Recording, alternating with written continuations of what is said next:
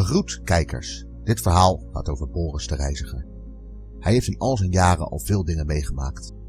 Maar het verhaal dat ik jullie nu ga vertellen is nog nooit eerder verteld. Het verhaal begon allemaal 20 jaar geleden. Boris was op reis naar een nieuw en ver land dat alleen beschreven stond in de oude geschriften. Het bleek echter niet zo makkelijk te zijn er te komen. Het kostte hem uiteindelijk twee jaar om het land te ontdekken. Toen ze eenmaal aankwamen, lag hij te slapen en vergaat de bemanningsleden hem wakker te maken. Toen hij wakker werd, zag hij dat ze aangekomen waren en dat iedereen al vertrokken was. Hij ging dus maar snel de boot uit en kwam aan land. Gelukkig zag Boris zodra hij aan land kwam een persoon lopen in de verte. Deze vreemdeling leek ook nog eens zijn kant op te lopen. Boris begon te springen en zwaaien, hopend dat de vreemdeling hem zag. Dit zag hij en zwaaide terug. De vreemdeling kwam zijn kant op en stelde zich voor. De vreemdeling bleek een bouwer te zijn, genaamd Daan. Daan vroeg aan Boris wie hij was en wat hij kwam doen. Vreemd genoeg sprak hij ook gewoon Nederlands. Het was dan weliswaar heel vreemd Nederlands, maar wel te verstaan. Boris vertelde hem waar hij vandaan kwam en wat hij kwam doen.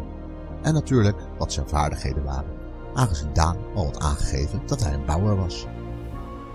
Ze besloten samen op reis te gaan, aangezien dat veiliger was. En omdat Daan, net zoals Boris, geen woonplaats had op dit land. Ze waren op zoek naar een plek die rustig en veilig was, zoals een ravijn. Of een eiland. Of misschien wel een dicht bebost stuk land.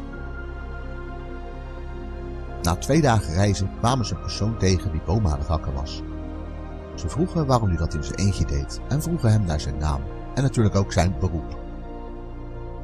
De man stelde zichzelf voor als Kevin en vertelde hen dat hij een houthakker was. Dit was natuurlijk niet zo vreemd, aangezien hij bezig was met houthakken. Kevin leek ook nog geen woonplaats te hebben en we waren de eerste die hij ontmoette. Toen ze hem vroegen hoe hij hier was gekomen, wist hij hun dit niet te vertellen. Dat hij Nederlands kon, was Boris niet meer verbaasd over.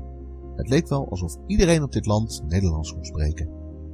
Nadat Kevin zich had voorgesteld en ze dus wat meer over hem wisten, stelde ze hem voor om met hem mee te reizen.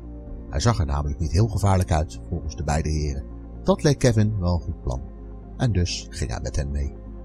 De groep heeft daarna vier dagen gereisd, zonder enige ziel tegen te komen in het vreemde land.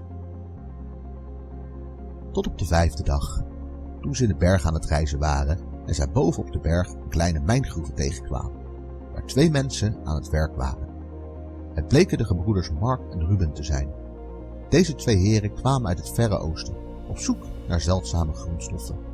Echter hadden zij niet nagedacht over een verblijfplaats.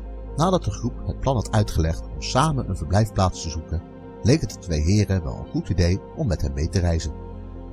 Op dag 6 van de reis kwamen ze tot een ongenoeg achter dat de voedselvoorraad aan het opraken was. Dus besloten ze krachten te sparen en niet meer te gaan rennen. Totdat ze op een meer stuitten en midden in dit meer lag een eiland. Toen ze het water probeerden te drinken, kwamen zij er ook snel achter dat het geen zoutwater was. De groep besloot over te steken naar het kleine eiland om het te verkennen. Ze kwamen er echter al snel achter dat er meer aan de hand was op het eiland. De groep was er niet alleen.